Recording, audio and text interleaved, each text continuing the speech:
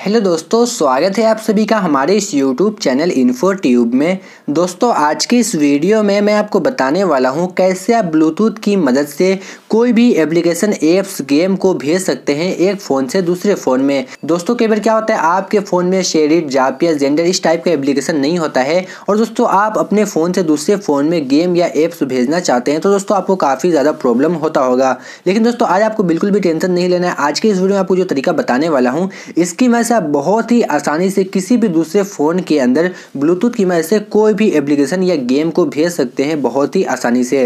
अगर आपको मालूम नहीं है एप्लीकेशन कैसे भेजा जाता है ब्लूटूथ से और जो है यहाँ पे एपीके का भी ज़रूरत नहीं है। तो दोस्तों, आज आपको ये गलती बिल्कुल भी नहीं करना है, वीडियो को पूरा देखना है। आज के इस वीडियो में आपको स्टेप बाय स्टेप सब कुछ बताने वाला हूँ। तो दोस्तों, देर किस बात की? चलिए फटाफट से इस वीडियो को हम स्टार्ट कर लेते हैं।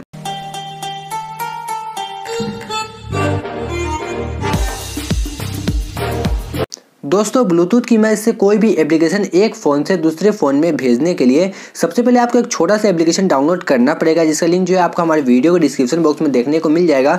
उस एप्लीकेशन डाउनलोड कर लीजिएगा। बिना एप्लीकेशन के ये सिस्टम काम नहीं करेगा। यहाँ पर जैसे आप ओपन कर लेते हैं डाउनलोड करने के बाद यहाँ पर कुछ लोडिंग लेगा, कुछ इस प्रकार का पेज आ जाएगा। अब दोस्तों, यहाँ पर जितना भी फ़ोन में आपका एप्लीकेशन होगा ना, सब यहाँ पे देखने को मिल जाएगा। अब यहाँ पर आप देख सकते हैं काफ़ी ज़्यादा एप्लीकेशन है। तो यहाँ पर हम कोई भी एक छोटा सा एप्लीकेशन को उठा लेते हैं जो काफ़ी कम एमबी का हो तो यहाँ पे, चलिए मैं यहाँ पे उठा लेता हूँ। ये वाले एप्लीकेशन को उठा लेते हैं। यहाँ पे आप देख सकते हैं ये फाइव एम का है। मान लीजिए मुझे ये वाला एप्लीकेशन दूसरे फ़ोन के अंदर भेजना है तो सिंपली हम यहाँ पे इसको क्लिक कर देंगे।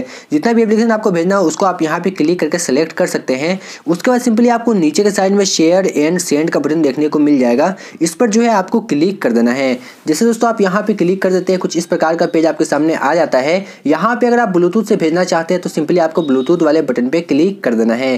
दोस्तों, जिससे आप यहाँ पे क्लिक कर देते हैं, आपका ब्लूटूथ जो है यहाँ पे ऑन करने के लिए बोलेगा। आपको सिंपली टर्न ऑन वाला बटन को दबा देना है। यहाँ पे जैसे आप आ जाते हैं, कुछ इस प्रकार का पेज आपके सामने आ जाएगा। यहाँ पे रिफ्रेश लेगा। अब दोस्तों, आप जिस भी मोबाइल फ़ोन के अंदर भेजना चाहते हैं ना, उस मोबाइल का ब्लूटूथ को आपको खोल लेना है।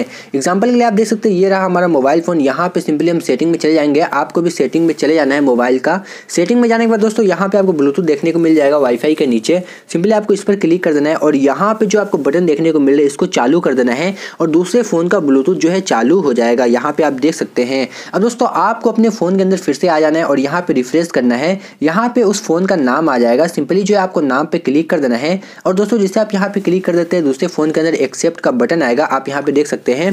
सिंपली आपको एक्सेप्ट वाला बटन को दबाना है और जो है एप्लीकेशन आपके फ़ोन में आना स्टार्ट हो जाएगा। आप ऊपर से स्लाइड करके कुछ इस प्रकार से देख सकते हैं। यहाँ पे जो है एप्लीकेशन मैंने जो भी इस फ़ोन से भेजा है, वो सभी आ रहा है। तो दोस्तों, चलिए सब एप्लीकेशन आ जाता है तो मैं आपको दिखाता हूँ ओपन करके। यही एप्लीकेशन है या फिर दूसरा कुछ आ रहा है।